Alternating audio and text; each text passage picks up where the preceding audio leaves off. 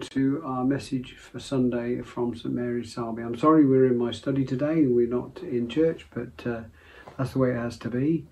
Let's take a moment to pray and then we'll study God's Word together.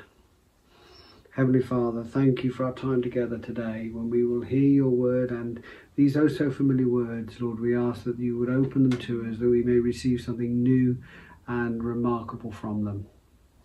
Amen. So let's read the passage again. It's not long and it's always good to remember, remind ourselves of God's word. God spoke these words, saying, I am the Lord your God who brought you out of the land of Egypt, out of the house of slavery. You shall have no other gods before me. I read an interesting article this week.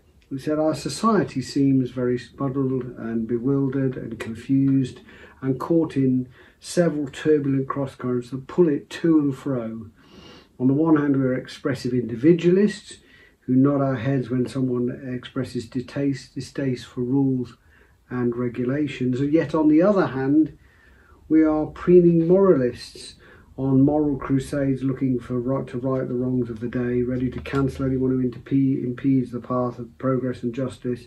Indeed, that's precisely what affronts us, the hideous customs of a bygone age laws unable to deliver us from, nay, even designed to enshrine injustice. We are a mixture. And yet, within all this, we have more great, more health care, greater comfort, and more entertainment options. And yet, within all this muddle and confusion and plenty, we seem to be more confused and upset and distressed than ever. Our children are particularly more stressed and anxious suffering one of the highest rates of suicide seen in 20 years. Emile Durkheim, he had a description of anomie, as he called it, he's Frenchman, or lawlessness, where he said what happens is where the breakdown of social norms, meaning and cohesion at times of economic stress come about, they contribute to a generalized sense of futility, despair, and lack of purpose. We have no rules, we have no meta narrative by which to live and therefore we live by whatever moral code we choose to live by, and that causes disunity and lack of cohesion, and that causes despair and issues within our society. So the Ten Commandments have a powerful place in our modern society. They have something to say to us in the 21st century. And what we have today in these opening verses of the uh, Exodus 20 passage is a father's talk to a son. This is like your dad sitting you down and saying, Look, I don't want to cramp your style, but I have these ways which I've always, these rules I've always lived by, and I think they would be good for you to live by. So before we get into commandment number one, we need to understand why these verses matter. And I read a book by Kevin DeYoung, and I agree with what he said. He said that they are vital, not that we must keep them, but, be, but because they must shape our lives. This is not a set of rules we must keep at all costs, and if we fail to, they must shape us. This is something more than just set of rules to obey. It's something that must give function and shape and, and direction to our lives. So, why are they important? Well, firstly, they're important because they remind us of who we are. In chapter 19, verse 6, God tells the people they're a royal priesthood, a holy nation. And he says the same thing to us.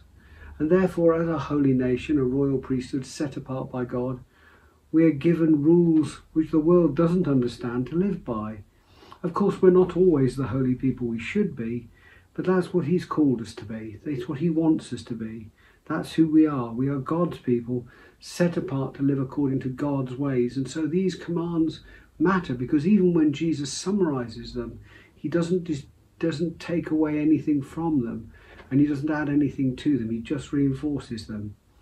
Secondly, they're important because they speak of who God is. He is sovereign, self-existent, self-sufficient, almighty creator. He is the God who brought the plagues on the people of Egypt. He is the God who parted the Red Sea and kept the people uh, fed with manna in the wilderness. He is not a God to be trifled with, and if he is God, and he's anything like the God revealed in my Bible, then it would be extremely stupid, foolish, and dangerous for me to crowdsource, as one person said, my own ethical code, because his ethical code matters.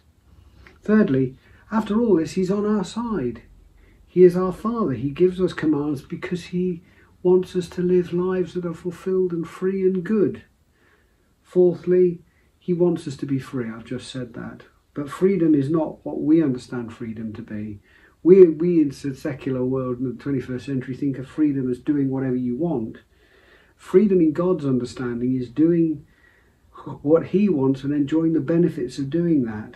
We too often think of the Ten Commandments as constraining us, as if God wants to keep us in servitude and stop us from realizing our dreams and reaching our potential. We forgot that we forget that God's delight is to give us abundant life, John 10:10, 10, 10, and true freedom, John 8:32. His law, 1 John 5:3 tells us, are not burdensome. They are about setting us free. And finally, they are the way we love out our live out our loving response to God's grace. Salvation is not a reward for obedience. Salvation is the reason for obedience. Just listen to that again. Salvation is not a reward for obedience to the Ten Commandments. Salvation is the reason we obey the Ten Commandments.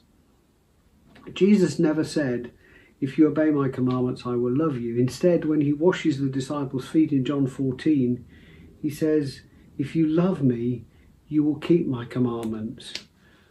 All of our doing is only because of what he did in the first place. And that's where we start our reading today. God says, I am God, and don't forget what I've done for you. That I saved you and brought you out of the land of Egypt and out of slavery, as he's brought us from slavery to sin. So they matter. They matter today as much as they mattered when they were given to Moses on Mount Sinai, and those are the reasons they matter. So to the first commandment you shall have no other gods before me.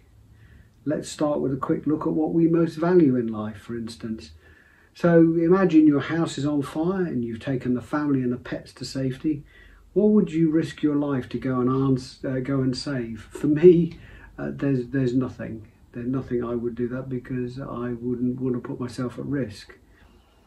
But those things you might hang on to might be gods, might be idols in your life. They might be the things that give meaning and purpose to your life.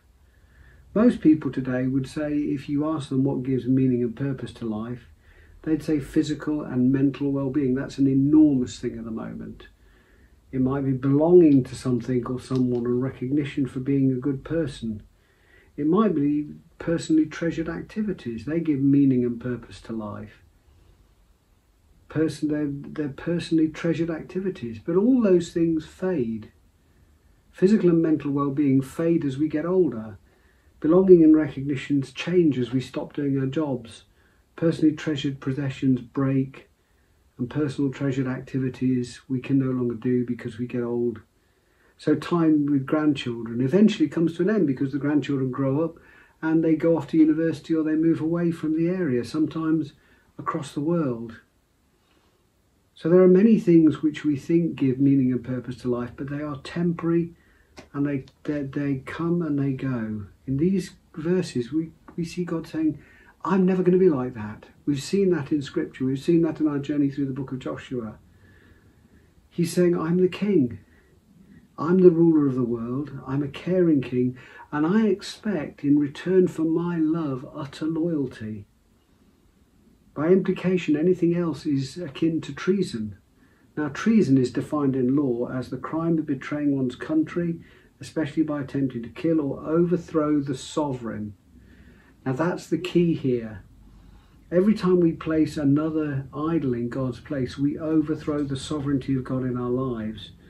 We ignore the fact that other things have become priorities in God's place and we commit treason. So, what are the gods of the modern age? Well, Bible, first, before we look at that, let's look at where this idol making comes from. The Bible tells us that the idol factory is our hearts. It takes good things and makes them into idols that drive us. And the simplest, the simplest things can take that place. And it can be summed up in the American dream. In the Declaration of Independence, it says all men are created equal, to which we as Christians would say amen. But it then goes on to say that everybody has the inalienable right to life, yes, liberty, and the pursuit of happiness. This has become our God, hasn't it? Self fulfillment. Your God must take second place to the pursuit of happiness, says the world. But God demands total loyalty. Imagine if I said to Becky, You're my number one wife. No matter how many wives I take, you'll always be the first. That's not going to be a good recipe for a marriage because love demands exclusivity. Becky doesn't want to be the number one wife, she wants to be the only wife, the only person I love and treasure. Not because she doesn't love me and she wants to restrict me and squeeze me and restrict my enjoyment of life, but because she does love me. She wants me to be fulfilled in our marriage relationship.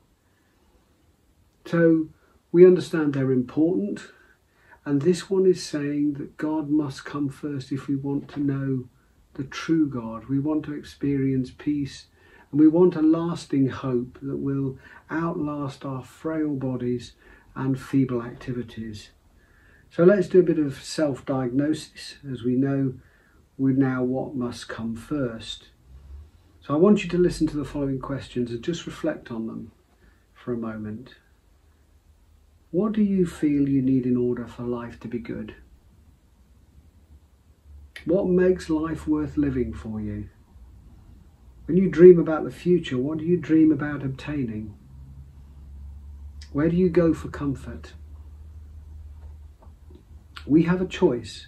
Heather made that clear last week in Joshua 24, in our sermon on Joshua 24. We do, we, do we see God as a person who restricts us and we reject him and follow the gods of this world as the uh, people of Israel were offered to follow the gods of Canaan? Or do we fall in line with the God loving Father who wants to give us good rules to live by? I recently read a really good book called Live Not by Lies by Robert Dreher, and he sums it all up very well. He wrote his book about the way in which Christianity was maintained in the Eastern Bloc during the communist period, and he writes this secular liberal idea of freedom, so popular in the West, is a lie.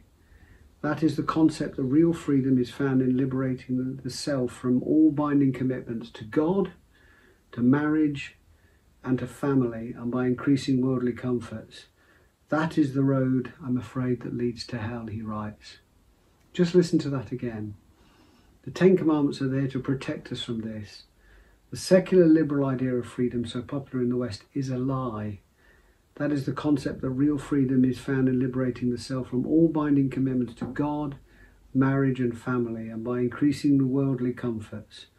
That is the road that leads to hell. It's true, isn't it?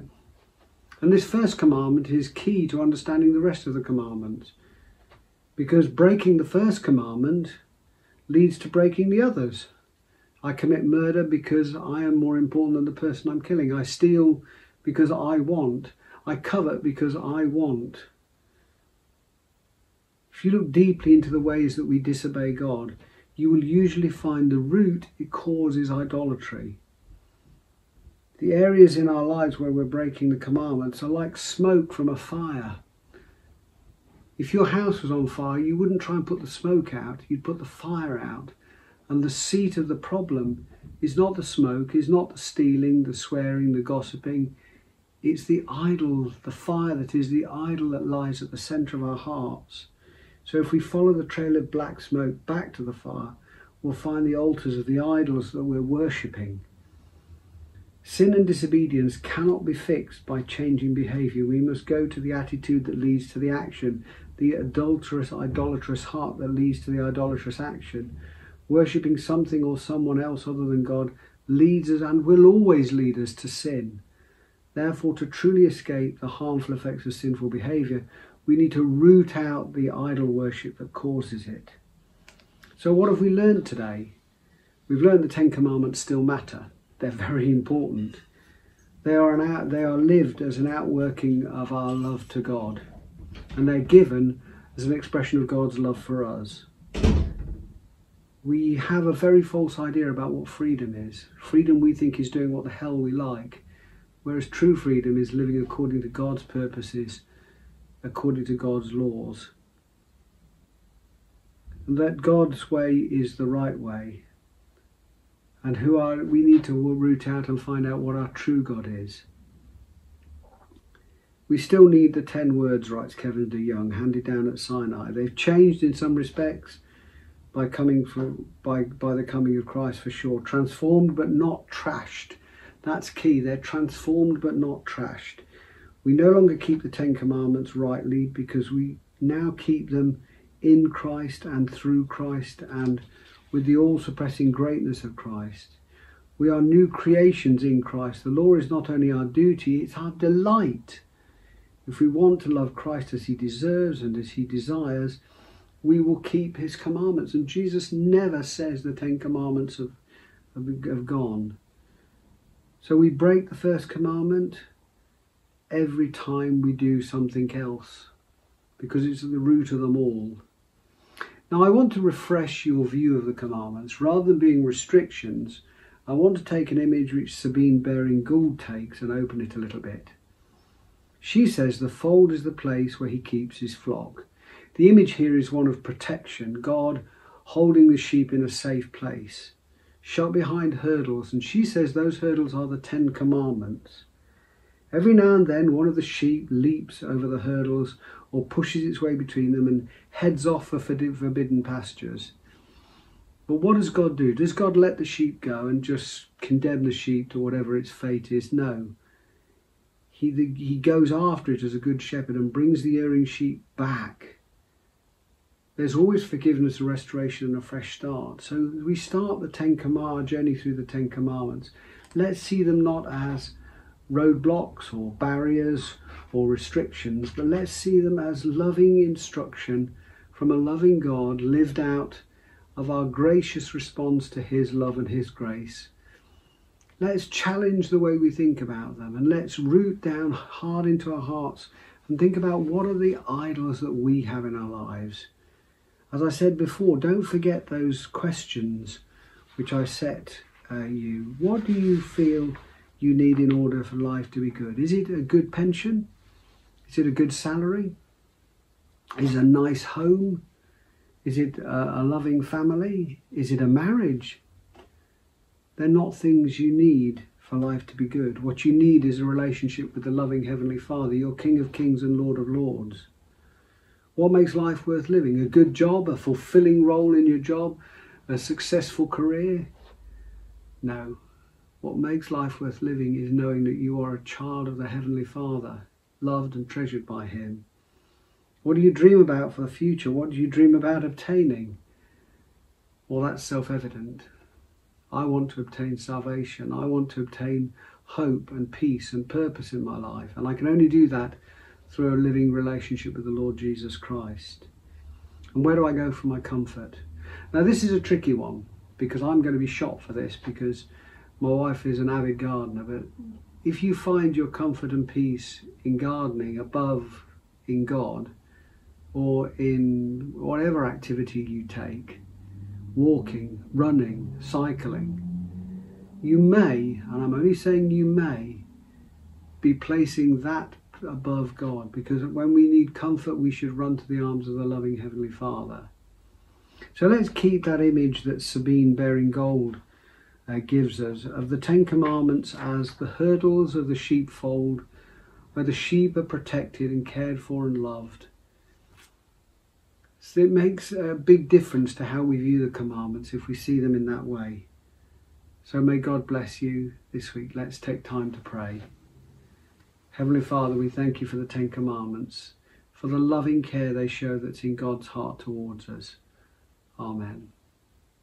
Have a good week. And if you need me, you know where I am. And by the way, as I always say, it's great to be able to speak to you online, but I'd love to be able to meet you and share with you face to face. So if you listen to us online, please think about coming to church on uh, a Sunday morning. We would love to see you.